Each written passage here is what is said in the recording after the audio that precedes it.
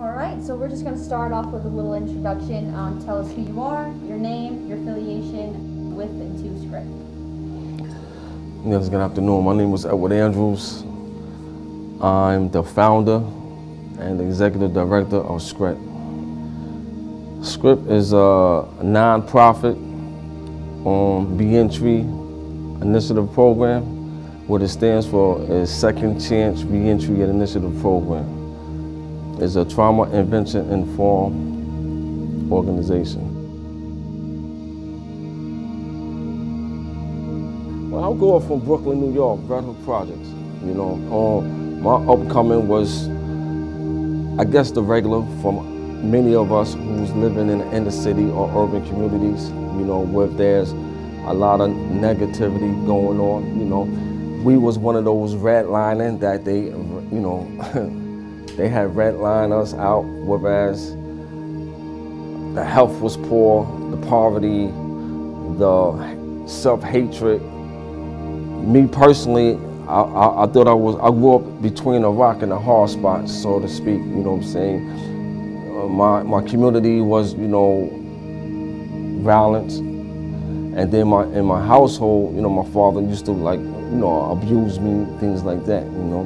But it's not like he abused me because he wanted to, it's just because he was suffering from his trauma, you know? And growing up, it just escalated, escalated, and um, you know, I got shot twice on two different accidents. I got stabbed. Um, then my parents both was taken away the same year, like five months apart. So I'm, I, I was a regular ready to happen in a minute, you know what I'm saying? And um, that's what happened in 1993. I was sentenced, I was facing 85 years in this Connecticut um, prison for, um, for murder. And that's where my intervention happened at, where I see what was the contributing factors. A lot of, and those contributing factors was um, it caused a lot of my time inside of prison. But in prison was my spiritual awakening, was my rude awakening, whatever you want to call it. And I was on a mission from there. I don't, I don't, I wasn't trying to look at my brother from the left or the right side anymore as if they're my enemies. I, I came to know how to love myself, and that's how I love, love them. Anything that I see that when I came home that I didn't have, I try to implement in the program so I could be a better it could be a better fit for those. It could be tailored for those who's coming home, or even those who don't even know they suffer from this trauma. You know what I'm saying? Like the Ascend program. Ascend program is a program that we deal with, you know, evidence-based curriculum. And um, we, we give them an activity book. And then we got another program called Youth Rise. This population is from 18 to 24. It's really called, it's really like a prevention program. What do we do, right? Coming from prison for 22 years,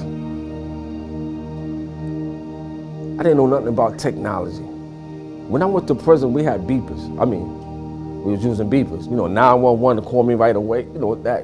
I don't know if you was if you was around, but back then like that. You know what I'm saying? But this is what some of the things that we use.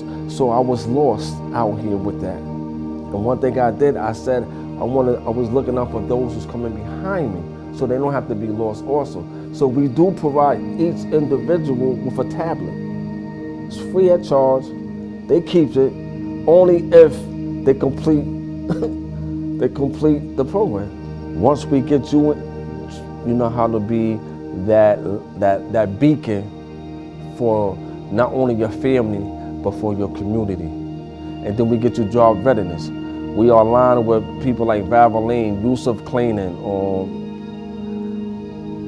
we have our own resources for job placements and housing stability. And then the last one is just the mentoring thing. It's just the expert mentoring. Whereas just because you graduate, I'm on your heels until like a, at least two years to make sure you, you, we good. But that's where the urban male initiative come in at because we want to still see you at the round table you know?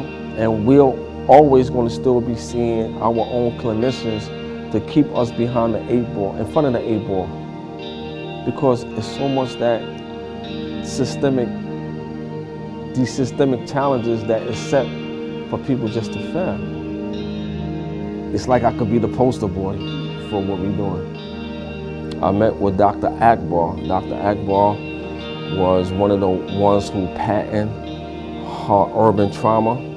And when I got to learn that was the missing piece, that I wasn't never got trained in prison with that, but know that that was my life, this all this trauma, it just, it just something that's clicked. And so I said, you know what? This is what my population need. Not only my population when guys coming home from prison, but now we we finding out that it's needed that for those in the community because we suffering. This redlining, this social deterrent, it's serious. And so I just I discovered my cousin had helped me with the name Second Chance Reentry Initiative Program, and um, I think that it's going to be around for for a little while, you know, because this is what we do. Barely have we seen anybody fail if they know how to stick to the script.